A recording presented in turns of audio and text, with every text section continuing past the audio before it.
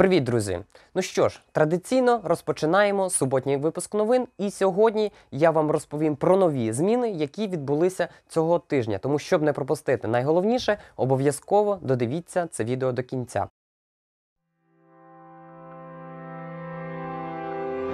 І так, друзі, на офіційному сайті go.pl уже з'явилася нова інформація, що від 17 жовтня будуть нові обмеження карантинні, з якими ви самостійно можете ознайомитись за посиланням, яке я залишив в описі до цього відео.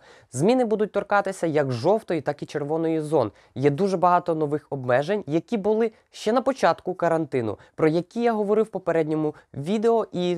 Все це, що я говорив, майже повністю підтвердилося. І навіть алкоголь, так як я казав, не будуть продавати після 8 години вечора. Але це, друзі, не головне. Головне, що дуже багато весіль знову буде скасованих в червоних зонах. І на мою думку, дуже багато пов'ятів, воєводств, міст увійшло до стрефи червоної, тобто до червоної зони. І з цим списком ви також зможете ознайомитись самостійно за тим посиланням, що я залишу в описі до цього відео. Ну і друзі, є дуже багато обмежень. Я вам рекомендую точно з ними ознайомитися.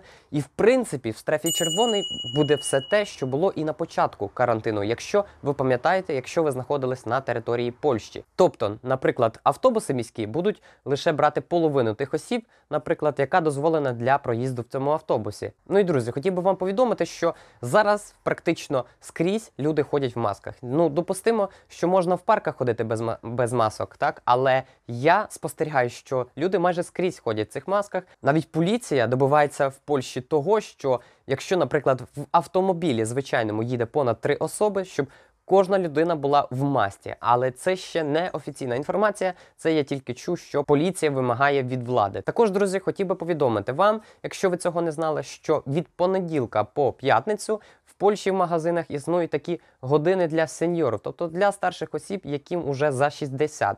І від 10 до 12 години ранку вас просто не впустять в магазин будь-який, тому що це будуть години для старших осіб. А всі інші години ви можете приходити до магазину. Ну і нагадую, що після 8 години вам не продадуть алкоголь будь-якого дня. І також, друзі, як я вже говорив, що більшість шкіл в Польщі, а саме де студенти навчаються, вже закривають на карантин, тобто дистанційне буде навчання. Поки що дошкільні садочки, наприклад, і там, де ходять менші діти до 12 років школи, так то вони поки що не закриваються, і там буде звичайне навчання. Звичайно, це все буде залежати від ситуації. Якщо, наприклад, когось хворого е, знайдуть в школі або ж одного із батьків школяра якогось певного, то точно школу закриють. Також, друзі, хотів би підмітити, що зараз польська влада просить менше подорожувати за кордон, адже ситуація із коронавірусом постійно змінюється, і майже кожного тижня виходять якісь зміни. Тому вони рекомендують поки що